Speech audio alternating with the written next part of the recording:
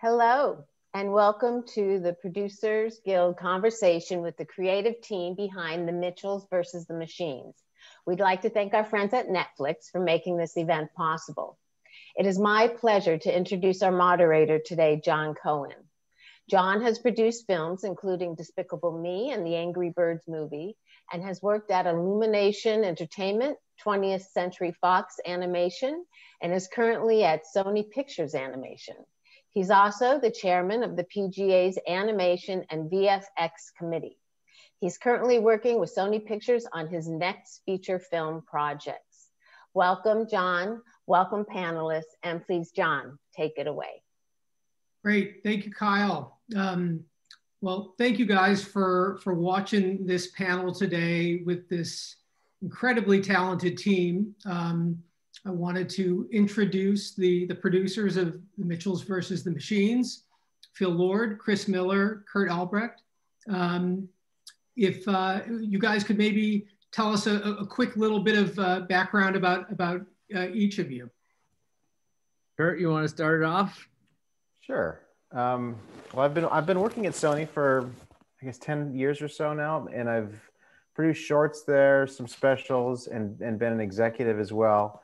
And then when this project came up, I was uh, threw my hat in the ring to be a producer, and I just loved it from the beginning. And Pam Mars and Christine Belson gave me the thumbs up, and and I joined the team. And and then these guys joined joined shortly thereafter. But it's been it's been a great ride. it's Been a lot of fun.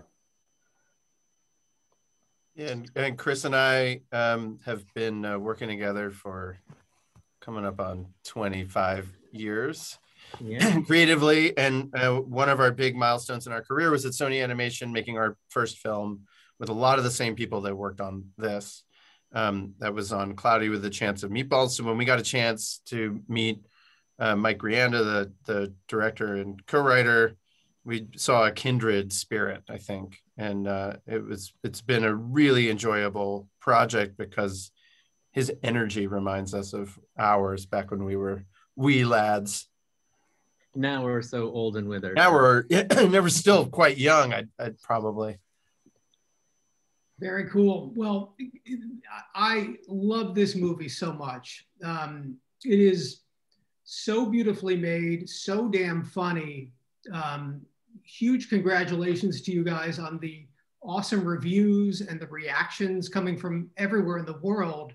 I think was it just 15 days at number one on Netflix's top 10 chart?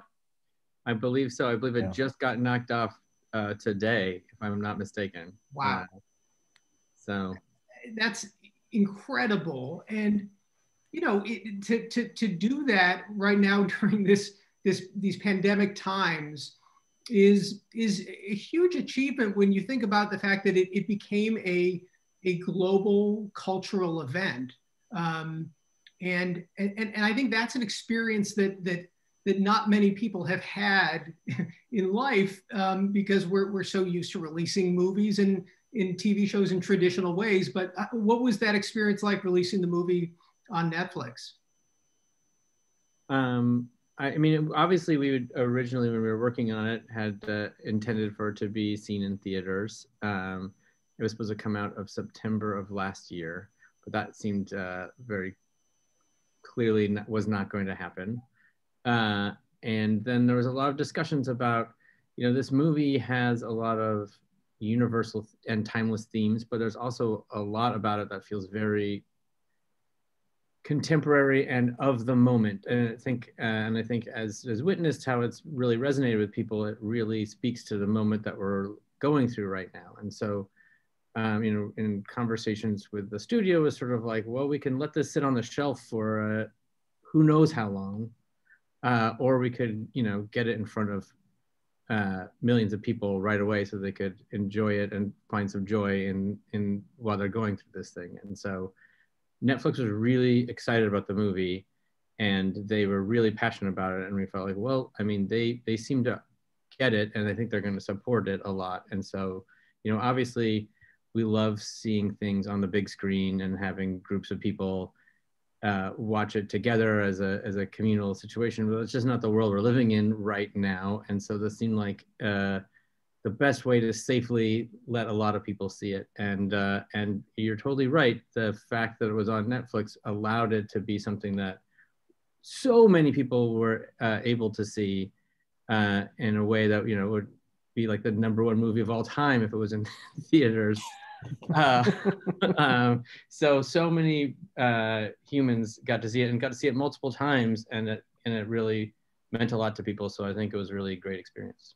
I think it's also, you know, it's a it's a movie about a family that is, you know, stuck in a uh, in a tin can for most of the movie together, forcing them to reckon with whatever differences they might have, and that's the situation we all find ourselves in. Is you know, most of us are um, spending uh, more time with our families than we've ever imagined, and and I think it really connected with people who are looking for something to watch together um, that they can, what everybody can enjoy uh, on their own terms, and and I think the timing wound up working in the movie's favor.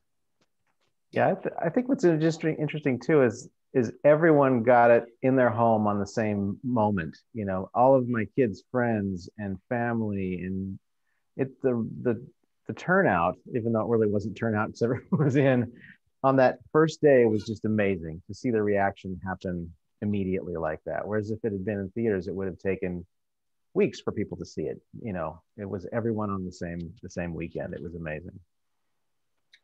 That's great. That's awesome. And you know, it, it, it's such an emotional movie. The emotion lands so so beautifully, and and I think that comes from the family dynamic. You know, the the relationship between Katie and and Rick is so great. And, and what, what worked so well for me is that I, was able to relate to both of their perspectives, you know, both of their points of view. You know, I, I, I remember being in, in Katie's shoes. Um, and now with kids of my own, I, I see it completely from Rick's side as well. Um, would, would love to hear you guys talk about how you, how you landed that, that emotional center. Was it, was it always a part of the film or is it something that that emerged or evolved along the way? It was always, you know, Mike Rianda, our, you know, writer director, is both an insanely energetic, funny, wild man and a deeply sincere guy with a huge heart. And so his pitch always had this um, especially in the first act of the movie this like um, you know, deeply emotional problem between a father and a daughter. And I think watching him work the story out over the years, it just got kinder to every character. Mm-hmm. I think the movie maybe started out from Katie's point of view and then um, opened up to include Rick's point of view. And and the movie now really loves all of the characters and you feel that you know it takes them on their own terms and understands that everybody's trying to be good even if they're falling short. And i think that really makes the movie come across really warmly. And i think it makes it a much a much better observation of how families operate. Yeah i would say a lot of the work that we all did over the last several years on this movie was sort of trying to get to get those emotional beats uh, to land cleanly and clearly and have you care about everybody and uh, everybody needs to learn something in the movie and everybody needs to go through their own growth uh, and i think you know to mike and jeff's credit they really uh, never stopped trying to like make each moment be the best it could possibly be and the whole thing be really special. So uh, ended up being uh, something that we were all really proud of. Yeah, and Mike, Mike's the starting point was always Mike and his family, like you know the the characters being based loosely on his family. So every scene started from a real, whether we ended up there or not, started from a very genuine place. You know, so it always came through feeling really truthful for the characters, and that was a, that was great to build on. That's great. It, it is really one of the most honest, human, emotional family stories of, of of anything I've seen in a while, and and and a story told against a, a big high concept with you know with with fantastic action and and you know and and, and animation. Um, you, one other side of the perspective um, is is the tech side of the movie and, and the villain, and you guys have such an awesome villain in the movie. And and what i love is that you can also understand things from her perspective. You, you've got a movie that's about connection and and a family that that can't communicate or isn't able to, to connect with each other. And then, then the antagonist of the movie is the technology that is that has taken the place of most of our interpersonal connections. Um, how did you guys come up with the idea for the villain? Was was was there a, a point where you tried different things or was it always going to be you know was there a chance that it was going to be the, the mark character or, or, or was, was the, the, the phone the, the, the, the approach all the time? It was always the phone but i mean ultimately it's really mark's hubris that's the that's the cause of it uh, but it was always the phone but it went through a lot of different uh, versions as far as like what what Pal's motivation would be and how it would connect to the story we were seeing with the Mitchell family. And, you know, there's a lot of generic sort of like AI has determined humans are not no longer necessary, so we're going to get rid of them. But what was, we were trying to find an emotional hook as to like why Pal would want to uh, get rid of humans. And uh, and when we finally came upon the idea that she was feeling abandoned by Mark, her creator, uh, in the same way that Rick was feeling abandoned by Katie, that felt like, oh, this has a thematic link. Uh, and also, it's an emotional way into a story that you've seen a million times before. You've never seen an AI story where the AI wants to take over the world because the AI's feelings were hurt, right? Uh, it's um, and so it, it felt some, like something we hadn't seen before, and we were like, oh, this is the and that and once that change was made, uh, those scenes suddenly came alive and became some of the funniest uh, and uh, most interesting scenes of the whole movie. I think. It helped with the Mark character too, because then it gave him and Rick some similarities mm-hmm. as well. You know you know finding ways to connect those two stories was the, the big one of the big challenges after one of our test screenings. And it it just uh the work paid off. It was a lot of little moves you know to sort of draw the parallels and so that the, the stories you know affected one another. And because uh, that family no matter what you did was uh was everybody's favorite thing about the picture so it was just about trying to get everything else to that same level. It also helps when you cast Olivia Colman, who is an international treasure and a super genius, and can make every line funny and interesting. So that's also and like lovable. You know, like it's like you're it's like it's you're on that character's side when she's frustrated. You know, totally. You you you humanize the phone, and and you, you feel badly for this phone. Like I, I, I, I was like so genuinely invested in it from that perspective, which, um, you know, I mean, if you think about the connections we all have with our, our technology, with our phones specifically, no one's phone has the same exact apps. They all look differently. We have a, we have this thing with us most of the day. And so it's, it's, it, it was really, really clever how you guys were able to bring out a character. Well, I mean, like my phone, other than my wife, is like the last thing I see before I go to bed and the first thing I say hello to when I wake up in the morning. And, you know, and when my kids go to someone's house that has an Alexa, they're just constantly trying to get Alexa to tell a joke or sing a song. And I'm like, leave Alexa alone. She's, she's done enough. It's like, give her a break. Uh, but, and uh, you can't help but want to humanize these things. I also think you've, you know, they say that like we co-evolved with dogs to become where we domesticated them and they domesticated us, and we have this now relationship with these animals going back, you know, millennia. And I'd say that we've started a relationship with technology that we sort of can't deny, and now we have to make it a good relationship that's healthy but I don't know that the you know, but the genie's out of the bottle. Yeah, absolutely, absolutely. You, you know, it's funny. You, you talk about the Alexas. We just got an Alexa, you know, mid-pandemic, and and then got a second one for a different room. Are they friends? Like, are or are they competitive with one another? I, they must hate each other. But it was so funny because I, I heard my four-year-old daughter the other day say, you know, Alexa, I love you. And I love other Alexa, like just making sure she was like. so her feelings didn't get her. In case she's also listening, right. yeah, probably is. And the NSA also, I love you, NSA. I love you, NSA. you know, I love you, Algo. Yeah. Short for algorithm. Um, you know, and by the way, technology especially with the way animated movies are are made where they take a long time to, to produce we're in a world where our, our technology is changing sometimes like every couple months in in pretty significant ways.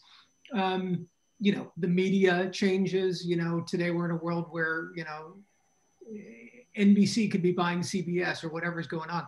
But um, when you guys were making the movie, was it was it something you had to constantly think about? Was it hard for you to stay ahead of the technological developments, or were there things that you guys created for the film that ended up becoming realities over the course of making the movie? How did that work?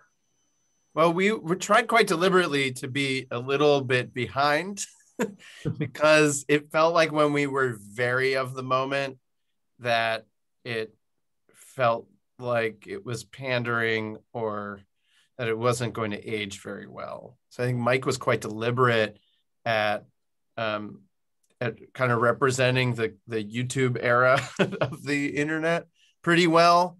Um, and also making sure that the content that was on screen was really specific to Katie and weren't just references, but were really about like the kinds of things she wanted to make and see and every so often we would you know we would have content in there. There's a scene late in the movie where rick is trying to use the internet. And there's all these videos besieging him and some of them are real and some of them are things we couldn't clear.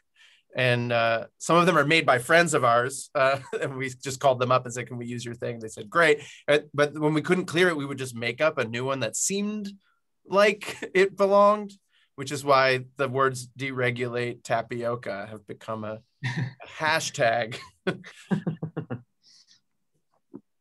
um, and yeah, I mean, and one thing that's, you know, the, they, Mike and uh, the uh, production designer, Lindsey Olivares, who is super talented and she was really responsible for like the look of the character design and the feel of the, of the, the animation were interested in was making sure that the uh, graphical interface of all of the PAL stuff felt accurate. And so they hired a real like tech uh, graphic design guy to manufacture all of like the PAL stuff. So it really felt like a real app and a real Silicon Valley company. And that, that accuracy was great because the reality of the universe of those robots with their sort of anti-gravity like laser cannons and other technology that makes no sense that you have to kind of shrug and go along with because the rest of the movie is so grounded and real and the family and their story is real and the, the place that they're starting from is so real that it allows you to go to some really ridiculous places with that storyline.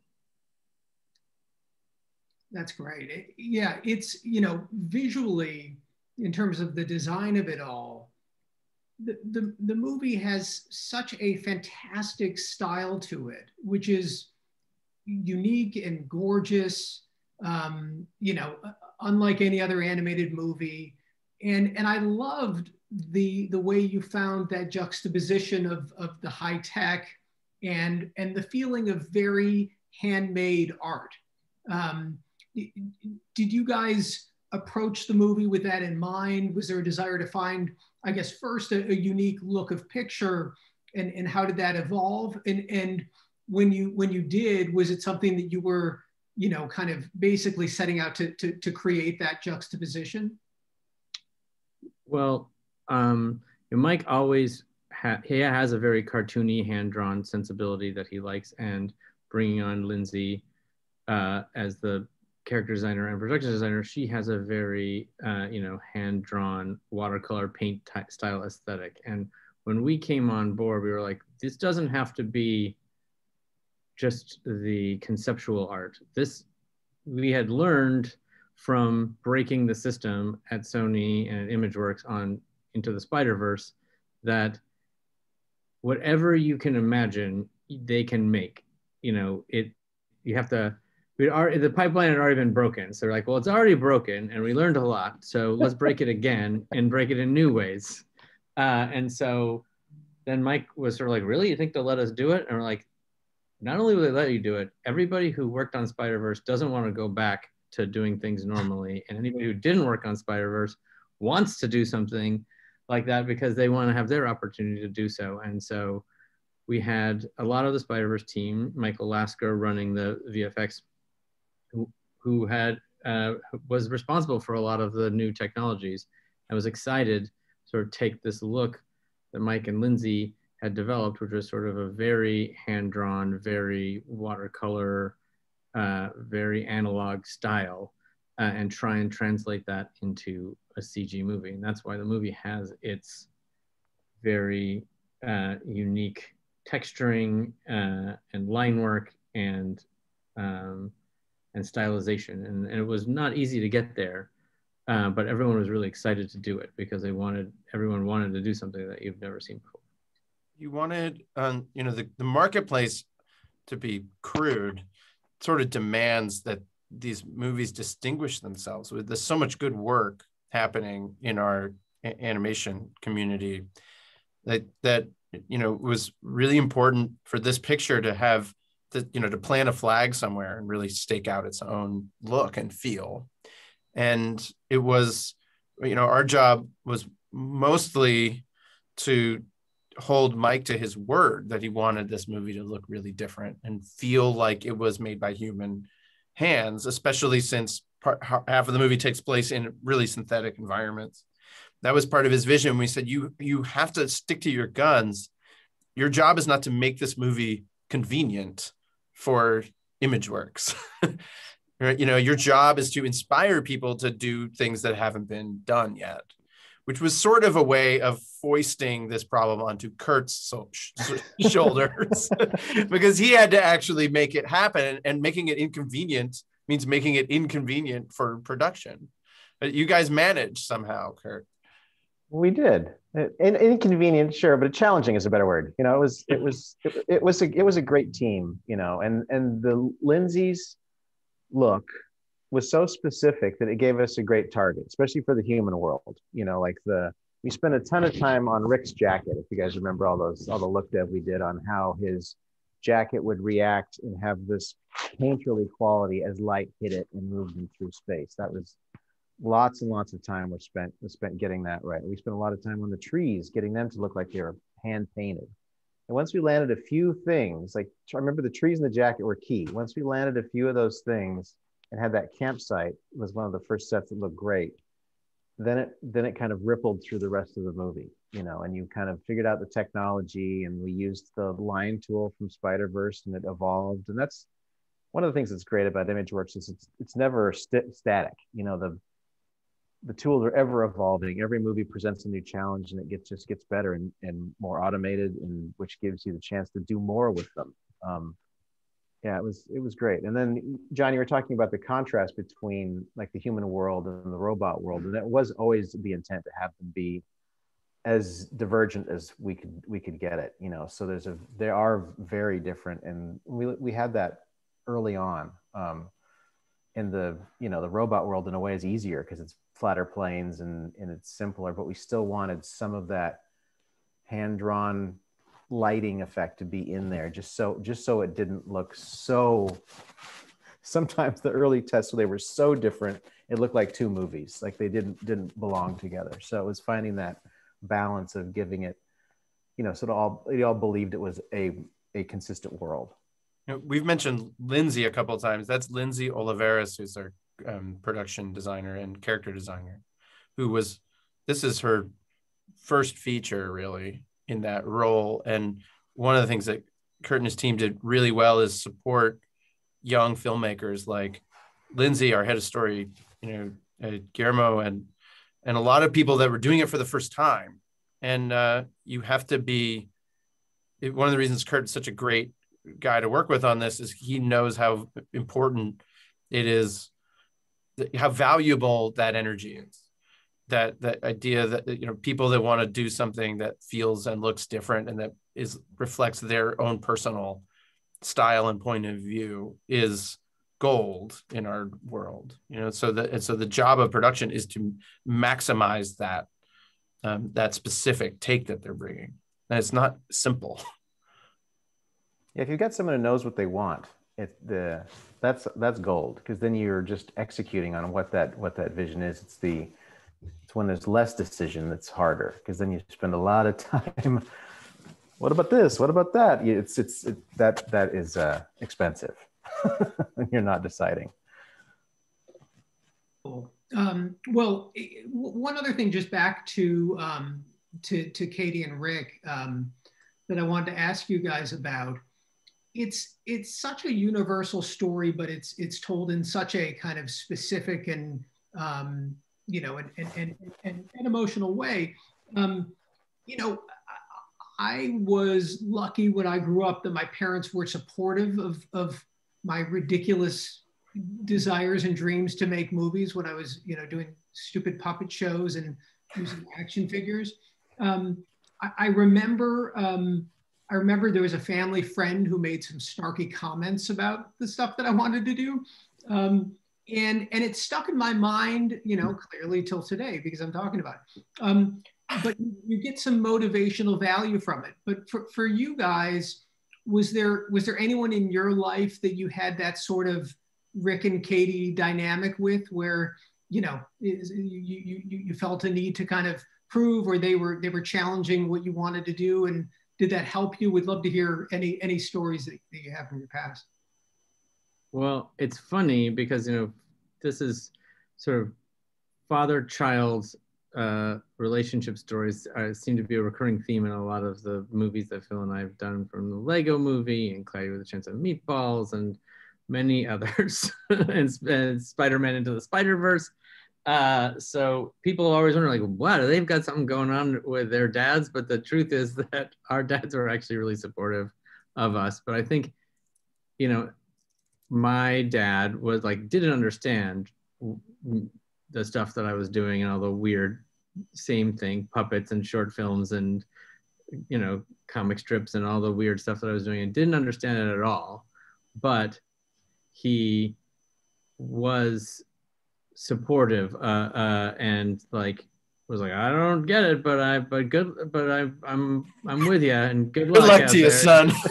yeah, but sort of like you go go chase your dream and and if you if it works for you, then that works for me, and if it's making you happy, that's great. He's never but like the lumber mill will always be here for you if you need it. Exactly, he does actually uh, is an actual miller.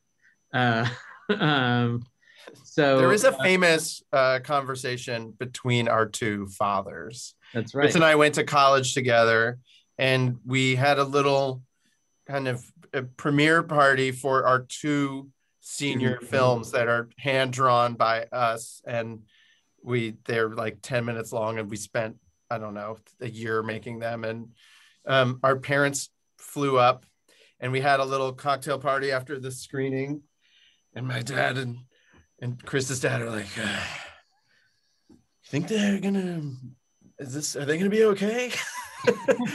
My dad is like, uh, uh, "Yeah, I don't know." I remember telling my mother, "Mom, I, I just saw 2001, and I think I know what I want to do with my life." And she goes, "Oh, honey." because my parents were both um, musicians. My dad had had uh, uh, had a dance company all on, on top of that for a decade. And I think they both knew how difficult a career in the arts is. And they all they wanted was for me to do something that was reliable. uh, and uh, it's worked out, but there was a lot of anxiety. For for for me, my parents were both school teachers, and they were always. I don't. I still to this day, I don't think they understand what I do, but but it's they're always been supportive and taught me a, a work ethic. Like no matter what you do, whatever it's going to be, do it hard. You know, do it well. Push and do things as good as you can, and I, that's what that's what that's what I think Chris and Phil like about me. Like you just keep going. Like you just got to keep making it better. And I and I think that's a great lesson to learn, no matter what you do, honestly. But that's what's that's what's uh, gotten me where I am. Is just don't give up, keep going. That's great. I, I, was lucky enough to, for my dad at one point after Chris and I had moved here and been out here a few years, and it wasn't always great, you know. And he's my dad told me on the phone once, his son, you're an artist and I'm afraid there's nothing you can do about it. and I, th- I, and I've often repeated that to other people. I thought it was really it was really helpful for me to hear that it acknowledged how hard it was going to be and that there was um, and that there was no escape. That's awesome. Have you guys ever gone back and and looked at any of the stuff that you you created when when you were you were little and and you know stuff you wrote stuff you you drew just to see how it holds up. I, I i've done like little little dives into into old movies and and you know they're they're they're pretty terrible and yet i'll still see something that i find funny you know or something that still for me holds up. But i'm curious to see if you guys have revisited any of your your old old stuff Right. Well, you know your audience, right? You're like making something for an audience of one person. Right. Um, I have been too terrified to watch my student films. That's for sure. Um, because I, I, you know, it's it's tough. Um, but you know, I have come upon old short stories or ideas for movies or things that I come across like, hey, you know what? There's something. There's something in there that you know. It's not to, it's like of a period uh, that uh, is no longer uh, the way we tell stories now, but there's something interesting there. So it's it's if you can get past the cringe, uh, you know, you can usually find a nugget of something. Um, there was one thing that we made that I still I've showed to somebody recently, which was the Bronte sisters Power Dolls thing that we made, which was in '98, like the first live action thing we ever shot, which was a fake educational fake commercials for uh, toys based on historical figures. Uh, and it was like uh, the Bronte sisters like action figures commercial, and uh, and it actually weirdly holds up. I have to say, even after all these years. It's 90 seconds though, so it's a lot easier.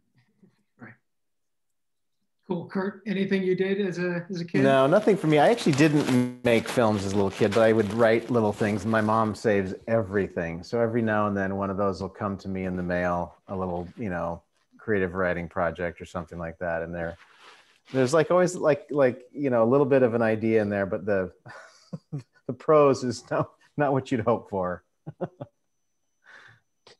Well, the, um, just to jump to another topic, the the music in the movie is is just awesome, and um, one part of the, the, the animation filmmaking process that I find people are often surprised to hear about is, you know, is how different it is to score a movie in animation than than in live action, um, because the the composers are able to to be involved in in the creation of themes and, and even start to score with some synth um, as you're landing the animatic. Um, and, and you guys have worked with, with Mark Mothersbaugh now a, a, ton of times. His score is so beautiful in this movie. The melodies are just wonderful. Um, and I wonder if you if you could just talk about the the process of working with him, how it works in in in your animated films and projects, um, and if there's anything just from your collaboration and process, just, you know, the shorthand uh, that, that has become helpful working with him? Well, Mark, you know, Mark is famous for, and this is true, he's one of the most creative people you could ever meet. It just oozes out of him. No, no one represents you're an artist and there's nothing you can do about it better than Mark. but one of the surprises that maybe not everybody realizes is he probably is one of the most melodic writers in in movies.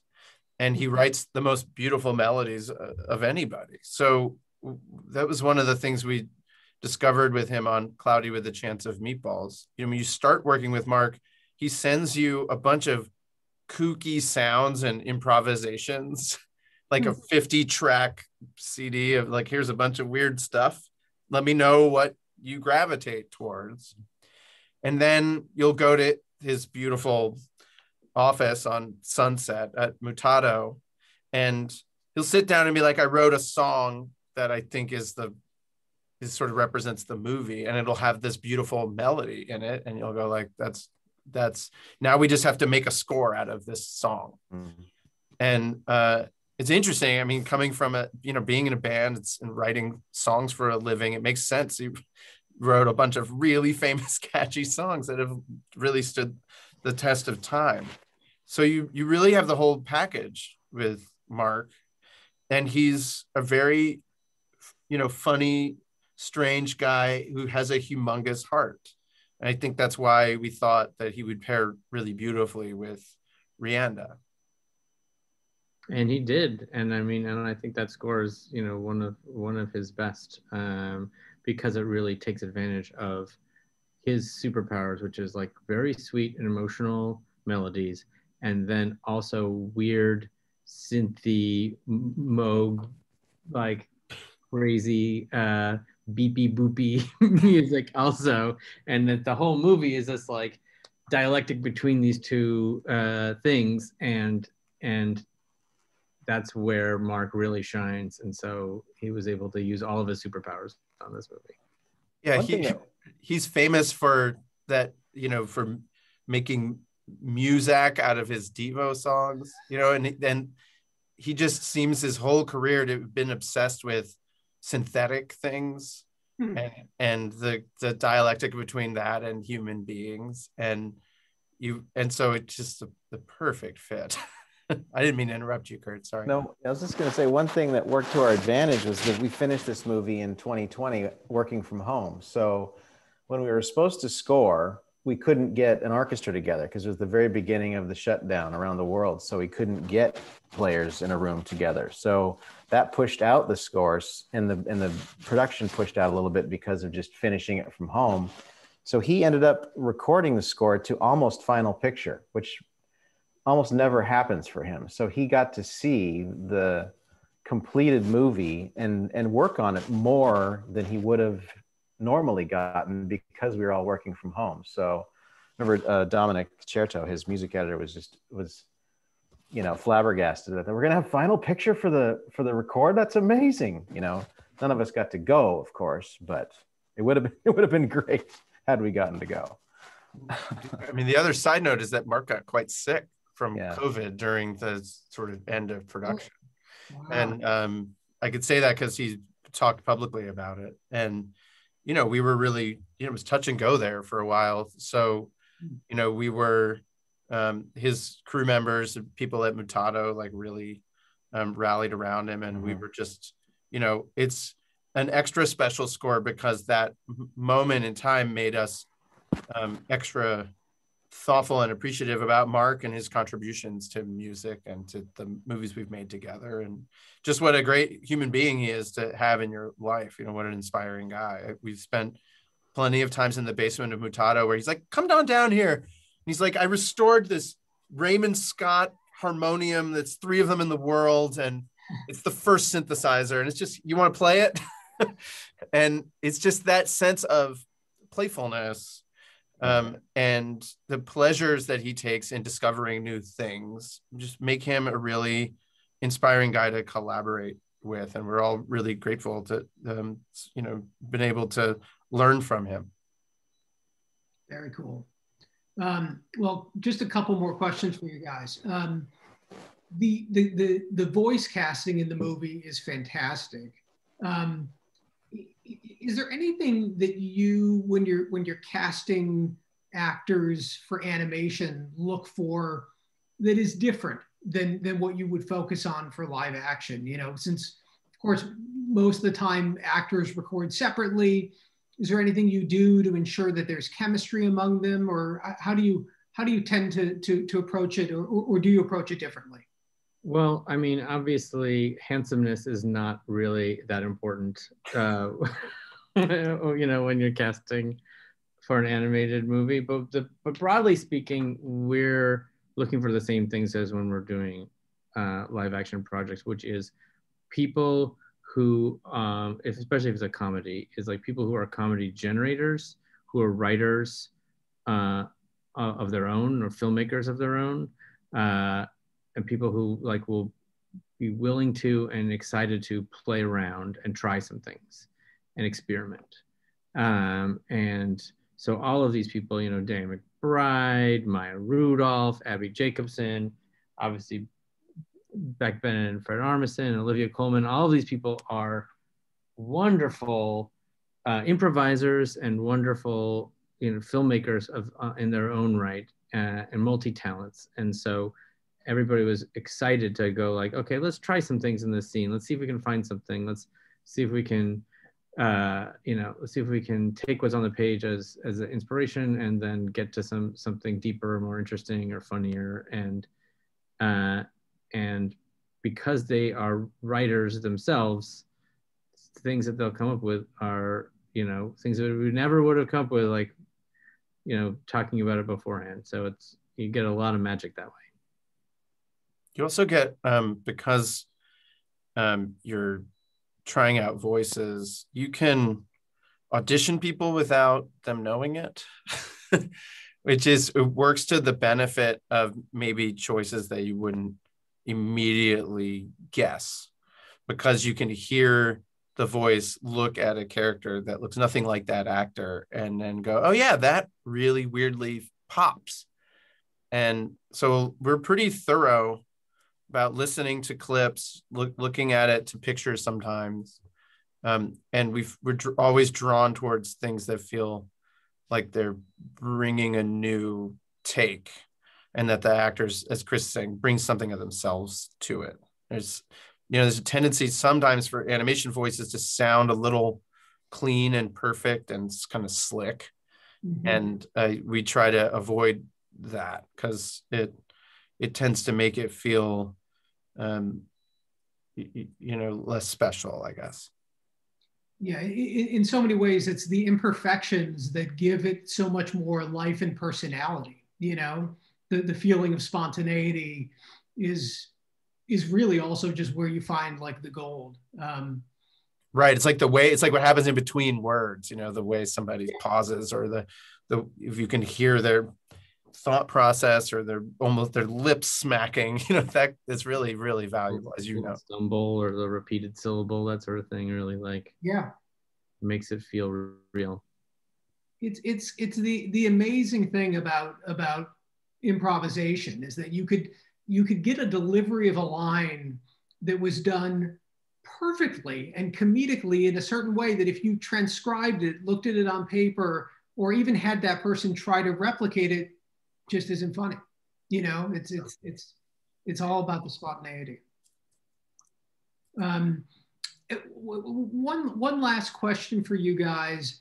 Um, this one co comes from a, a, a, producers guild perspective, which is something that I hear from people quite a bit. Um, which is when every year when people are voting for the PGA awards and, and, and they get to the animation category, I've heard people ask the question, well, how do you judge good producing in animation? You know, how do you evaluate the producing of, of one animated film versus the producing of another film? And um, and I'd love to hear your thoughts on, on what you guys think are good attributes of an animation producer and and and and you know if if if one comes to you just even in your opinion, kind of what is one of the, the, the better, best produced animated films of the last few years? Huh. Well, I mean, it's really it's the same question could be asked of live action, really, because there's so many different types of producers. Yeah. Um, like, how do you judge if a film is good and a film is doing something interesting or culturally relevant or new or adding something to the social conversation? um, you know, who's to say how much of that is thanks to the good producing work and how much is good to thanks to all of the many, many, many people that make these things. And I think one thing about this film in particular was that it was really a group effort by a lot of people and every aspect of it contributed to it being uh, as good as I think it turned out. And that's, you know, you know, not the least of which are, you know, Mike and Jeff, mm-hmm. uh, but also, you know, all of the crew members who were given the power to add uh, their own ideas and um, and not just do what they were told. That, that having an openness to anything that sort of fit in the theme uh, and empowering the entire crew made everybody excited. Like, oh, I'm gonna do, I'm gonna go, I'm gonna make a puppet pterodactyl out of felt and cups and plastic forks, and then we're gonna shoot in front of this green screen and comp it into the movie. Movie, and everyone's like, yeah, let's do it, which is not a thing that happens in any other movie. Uh, and so I think, in terms of the the producing of it, the fact that this movie was able to uh, push so many boundaries and make something so new and so different with a voice that was so unique uh, and uh, and turn out in a way that felt like it was uh, it worked as a movie i think is the only way that you can judge one of these things is uh, did the movie work? And did it do something new? Exactly. okay great. The producing must have done an okay job. Didn't mess it up. The proof is in the pudding. I mean, I'm really curious, but Kurt's point of view on this, I know that from where we sit, the, you know, it, I, we, we have a lot of respect for how hard it is to pull any of these movies off, right, John? Like even, even something that doesn't completely pan out, we all know from our friends on these productions that there were tremendous efforts made to bring the thing in for a landing and the challenges that show up you know they're invisible if if you do your job right and nobody really knows that like the oh yeah the whole thing crashed. We had to start the entire movie over eight months before release and then we threw out the middle act and we lost an actor. All that stuff goes away by the time it gets released and you don't talk about it out of you know just to be polite. So, uh, so all these movies are difficult. Uh, in, in, recent years, you know, the things that I've been most impressed by personally are things that break the mold. You know, the that we have a we worked with this woman, a great producer, Jinko, and she produced that movie Klaus, and that was like at a different studio using a newly invented process, like going back and forth from the U.S. to Spain, and creating an entire new pipeline. That's really challenging and impressive. This year, I watched a movie called Our Sound. Um, the Japanese title is Ongaku, which is drawn almost by entirely by one person, and that is its own different challenge. You know, so th- these are all really what's so wonderful about animation and movies in general is that they they they are all these things are all prototypes so they're all kind of I don't know, accomplishments one way or the other. I don't know, Kurt, what do you yeah, no, I, about? Yeah, I agree with you guys. I mean, I think for me, it's like anything that looks fresh, feels fresh, pushes technology or pushes an art style. Like, you know, I think this movie might not have been what it is without Spider-Verse happening, you know, and that's, that's not, that's not just you two, it's everyone who worked on that movie and the people that were involved and helped make the technology and made Sony Pictures more open to doing different things. Oh, neighbor kid. Pizza's here. exactly. Um, that's the timer bell. Yeah, no, oh, that's if you give a good answer, you get a bell, like a point. you get a producer's point. Um, but I, I just I, I, agree. It's the collaborative nature of of this, and everyone who's on the crew bringing their talents to bear and making a unique a unique picture, and it and it and it stands out when it happens, you know.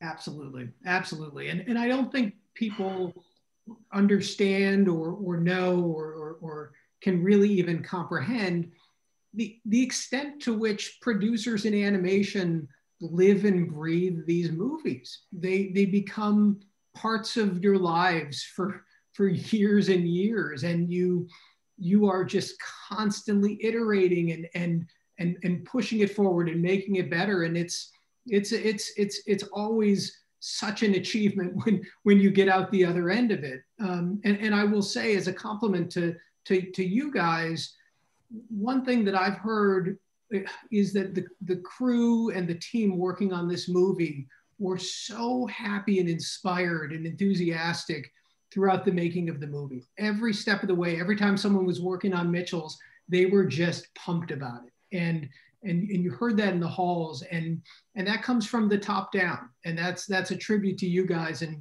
and how you produced it so that's well that's a nice really that's the highest compliment I, we always say we yeah. want to be the most miserable people working on the film. as long as long as everyone else has a good time, that it's okay. I will say that you know that Mike and his co-director Jeff and Kurt and and uh, the ImageWorks producers too made the movie a safe place to be creative, and I think that's really important. You know that people feel like they aren't going to get in trouble if they try a new idea or if they raise their hand and say, "I think this scene might be better." It might slow down the production a little bit, but I think it's important that we recut this scene or we try one more time you know that there there were times on spider verse where we really faced a production crunch and we stopped and asked ourselves like are we like spreadsheet managers or are we filmmakers you know this isn't going to be smooth um, but we we i know that everyone in this room came here because they wanted to be a filmmaker and we have to solve this as filmmakers not as you know as abacus minders. right. And it's like if we do, like if I look at it, if I do my job right and take that pressure off all those people, then you've got artists that are happy, like you're saying, John, and talking about it in the halls. They're going to do better work. They're going to be more excited about working late that night or on the weekend or whatever it is. And, and they're going to deliver you you know every every frame that's on the screen is is hundreds of people's work you know if they're happy about it, it's going to look better. You know, so that's it's good for productivity, yeah. and it's good and it's com- and it's it's good for the, the, commercial viability of the project. At the end of the day, yeah. that creativity is worth money to be gross. it, it it really means something. You can feel it in the marketplace. Yeah, you can feel that nothing about this movie, no shot was half-assed in this. In this That's right. That's great. That's great. Well, listen, thank you guys so much for for doing this Q and A. This has been terrific. Um, and, Thanks for moderating. You're uh, you're yeah, a real delight as always. And, and, we're big fans of yours too, John, and admirers of your movies. So it's uh, makes it an extra delight. Thank you so much, and and congratulations on the movie. It's it's spectacular. Thank you. It means a lot Thank coming you. from you. I really appreciate it. Cool. All right. Thank you, guys. I guess. Bye, everybody. Thanks for listening. It. Bye, everyone. Thank you. Bye.